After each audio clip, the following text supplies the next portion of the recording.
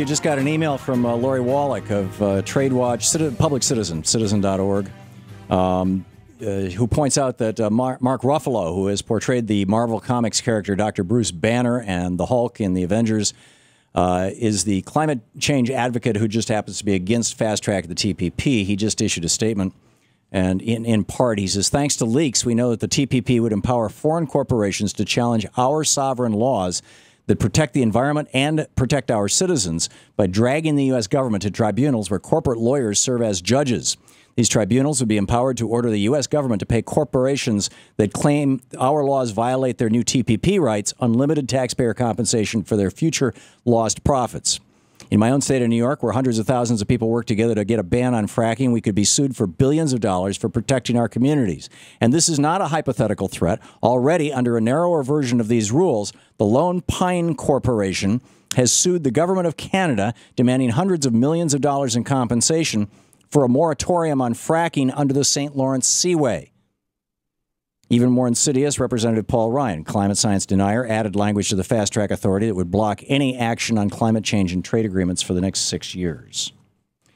With us on the line, as promised, is Phyllis Schlafly, constitutional lawyer, conservative activist, author, and speaker, founder of the Eagle Forum. EagleForum.org is the website.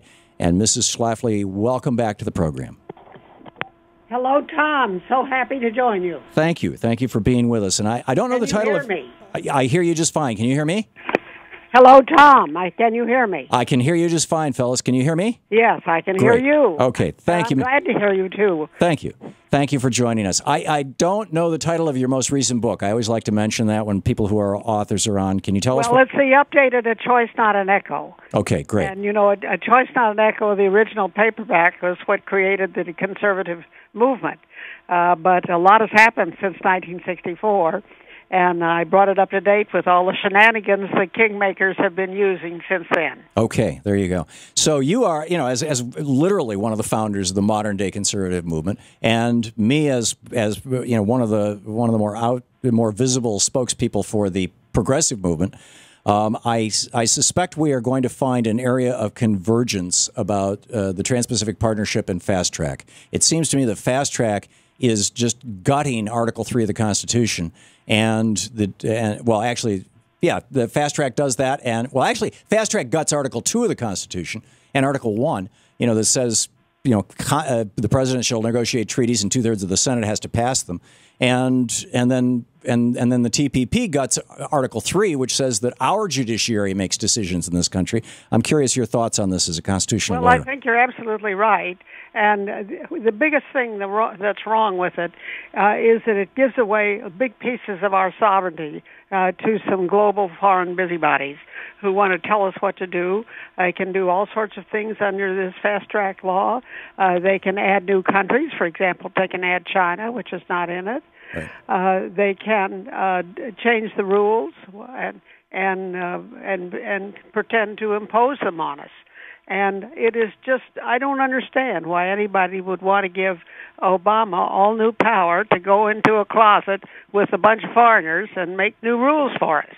Yeah, I don't understand it either. And, and and not just Obama. This is for six years. We've never had these deals of these uh, fast track authorities, which were invented by Richard Nixon and were unconstitutional then too. Have, to the best of my knowledge, never lasted more than two years. This one will go to the next president as well, who may be a Republican or a Democrat.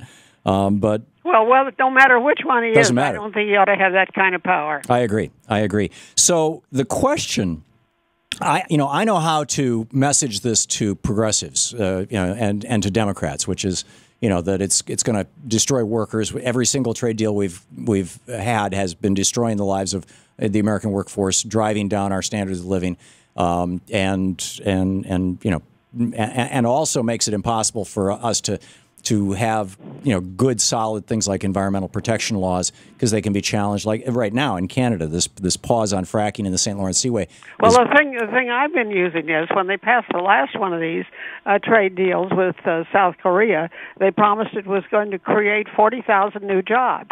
Well, it did, but they were in South Korea. They weren't in the United States. exactly so how do you message this to conservatives how do you message this to to to the people who who uh, you know might be watching Fox News or listening to right wing radio. I know you know Mark Levin agrees with me on this. We haven't talked about it, but I've I've heard this through his listeners. Um, but I'm not sure about the other uh, conservative talk show hosts. And how do we message this to conservatives? Well, it's difficult because they are swayed by the words. Free trade sounds like uh, uh, it, it sounds like a, a great, wonderful uh, idea for freedom, uh, but actually it's freedom for for China, but not for the Uni- United States. Yeah. And uh, when you have uh, uh, something like this, you, you need the global busybodies to make the rules and then have people obey them. But the trouble is, we obey the rules and China doesn't, and they cheat us coming and going. Well, and it's not and just it, it should be obvious that that's what they've been doing for years. Yeah, and it's not just China. I mean, you know, it's, it's, it's there's a long, long, li- yeah, a long list of countries that are doing that, and we're just kind of rolling over for it. It seems to me that the problem, and and this uh, appears to me, I mean, just from where I'm sitting, to be um, very, very widespread in the Republican Party and growing in the Democratic Party, in large part because of these Supreme Court decisions, which have invented doctrines that didn't exist before, like uh, you know, give, buying politicians is actually protected by the First Amendment, or that you know corporations are uh, uh, you know have equal rights under the law uh, with humans under the Fourteenth Amendment. That as a consequence of that, uh, the the you got these 28 uh, Democrats who voted with the most of the Republicans. There were 50 Republicans who refused to vote for this. To their credit, in the House of Representatives last week. Now it's back in the Senate, and the vote's going to be tomorrow. And uh, it, it seems to me that the big problem is that these transnational corporations and foreign governments can now buy American politicians. Is that not at the core of this problem? Yes, I think it is, and and you can see that the big money is is having its impact, and uh, that's extremely unfortunate. Uh, I've been uh, fighting the group that I call the kingmakers, but they they are the ones with the money who try to um, move their weight around and control things, and I don't believe it. And uh, you know, Alexander Hamilton was a great, uh, uh, really opponent of what is now called free trade. And now they even want to take him off the ten dollar bill and put some feminist on. What do you think of that? Yeah. Well, I, I think that they should take Andrew Jackson off because he was, I mean, you know, Andrew Jackson did the Trail of Tears. He was a pretty miserable president. And he opposed banking. He opposed the central bank. So take it, Jay, if you're going to put a woman on a, on a, on a, uh, on a bill, put it on the 20. Um, I'm a fan of Hamilton. In fact, I opened my book, uh, Rebooting the American Dream, by reprinting his 11 point plan that he submitted in 1791 to the George Washington administration for trade, including tariffs, that built this country.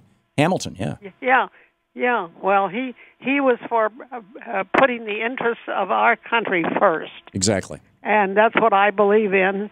And uh, I believe in American sovereignty and superiority.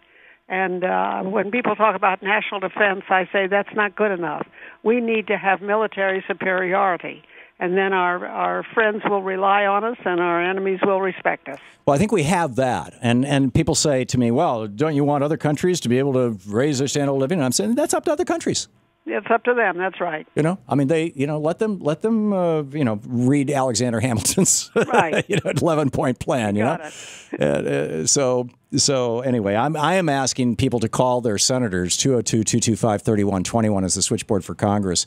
And uh, if Give that number again. 202 225 3121.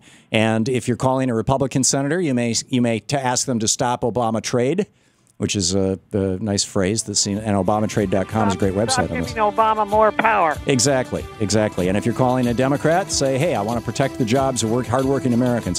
Phyllis Schlafly, constitutional lawyer, um, conservative activist, author, and speaker, founder of the Eagle Forum, eagleforum.org. And uh, Mrs. Schla- Schlafly, thank you so much for being with us today. It's Been fun to talk to you, Thom. It's always nice talking with you.